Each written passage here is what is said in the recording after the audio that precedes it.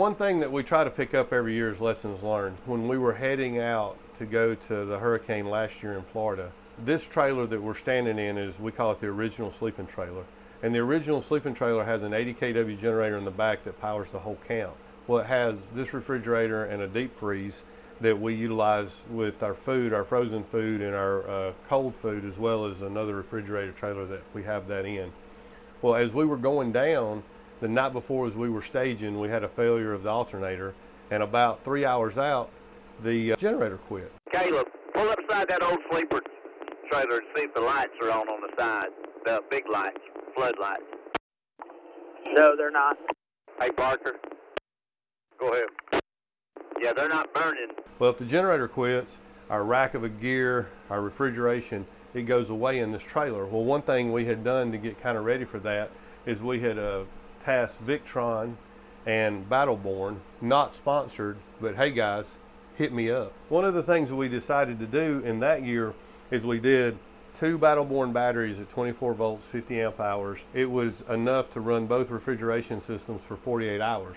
Well, then the Motorola guys learned of it and they wanted their server, their SAN storage area network, repeaters, Wi-Fi, Cradlepoint, cellular to modems, Starlink. So all that stuff got backed up and we ended up with about a thousand watt dissipated load. So those two batteries only gave us about two and a half hours of runtime. So we started thinking about that. For this season, we added four more of those batteries. So today we have 300 amps, 24 volts. We've got quite a lot of capacity now. And now, even with this rack pulling nearly 800 watts, each of the refrigerator and freezers pulling about 300 watts, we can get to a dissipated load of like 1.3 kW, but now we can run for eight to 10 hours depending on the duty cycle of the refrigeration unit. We really like the Victron stuff.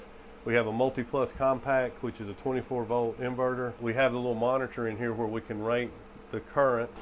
See right now you're at 10 hours. There's the voltage, there's the amp draw, there's a dissipated watts.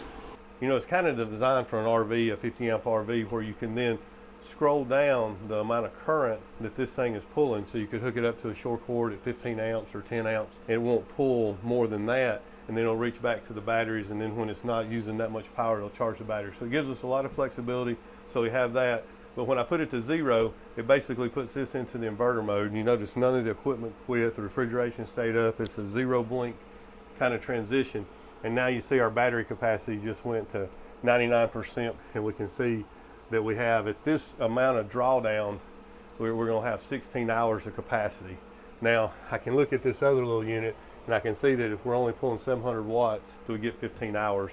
So if everything was on at zero duty cycle, would be somewhere around eight hours. But this gives us eight to 12 hours so that when we're going into theater, even if we lose the generator en route, our food stays safe, our communication stays up. Uh, this contains a repeater so that while we're in our convoy, we can talk from the front to the back. So it just gives us a way that our team can stay connected. Some folks have been asking for a little bit more of a technical upgrade, but that kind of shows some of the capacity that we've added into these trailers and the redundancy getting ready for the 23 hurricane season.